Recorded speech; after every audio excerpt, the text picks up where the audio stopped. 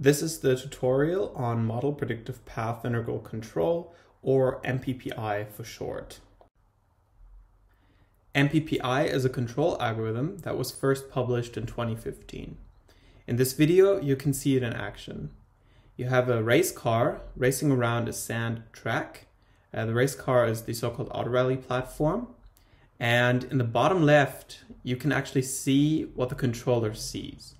So the controller has a model of the environment and at every state it produces thousands of random input sequences. It applies those input sequences and simulates what would happen to the system if it applied the sequence. So you obtain this series of so-called rollouts, different simulations into the future, and it kind of explores the space ahead of the car and to obtain the best inputs at every state, it weights those random inputs that were tried and simulated onto the system. And the idea is that low cost makes an input good, so it gets a large weight in that um, averaging. And it has to be mentioned that MPPI is a so-called path integral method. The idea is that you optimize uh, by sampling from the system but it's just one type of optimization that's being used in model predictive control. Other types of optimization exist too. Let's look at the core idea in more detail. So MPPI is a type of model predictive control or MPC algorithm. Its main idea is to simulate thousands of rollouts into the future. Each rollout is different in that it has a randomly different input.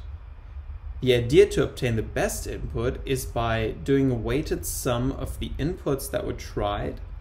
And the intuition of that is if a rollout had a low cost, then the inputs that produced them were good, so they get a large weight.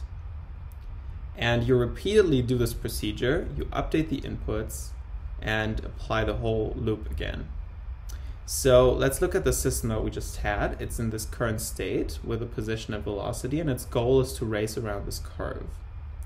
So we choose in this example a simple MPC horizon of four steps. So we optimize over four steps, and we are going to simulate three rollouts. To do that, uh, we will produce three random disturbance vectors, delta UK, and so we are going to have three colors for those three rollouts, delta U1, 2, and 3. And in the kth rollout, we apply the disturbed input vector u plus delta uk, where delta uk is the random component and u is the so-called vector of nominal inputs. So this is the first rollout. As you can see, if you apply the first input, you land here, and then you apply a new input, you land here, you apply a new input, you land here, and then the trajectory is completed. Over the course of that first rollout, you accrue a cost of 2000.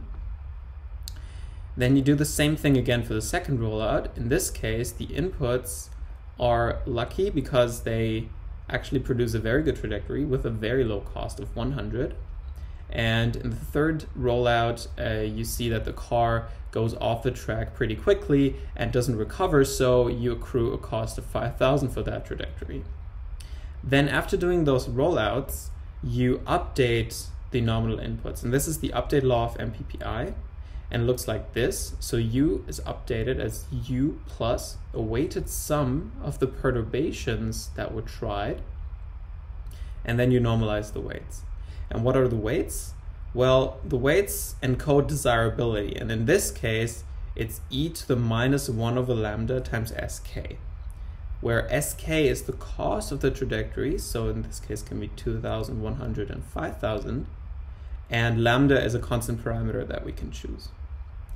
Let's look at this example. When we choose lambda equal to 1, so it just all cancels out, then very simply u would be updated as u plus e to the minus 2,000, uh, corresponding to this cost, times delta u1, corresponding to the perturbations that resulted in this trajectory, plus e to the minus 100, so this cost, times the perturbations that resulted in this trajectory, plus the same for the third trajectory. And then you divide it by the sum of the weights, so the weights sum up to 1. And as you can observe, the best, the lowest cost trajectory gets the largest weight. This is also called desirability. And you normalize the weights. So that's the core idea.